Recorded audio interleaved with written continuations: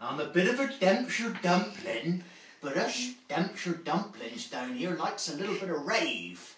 So I'm going to do a little bit of drumming to a good old rave song. Classic.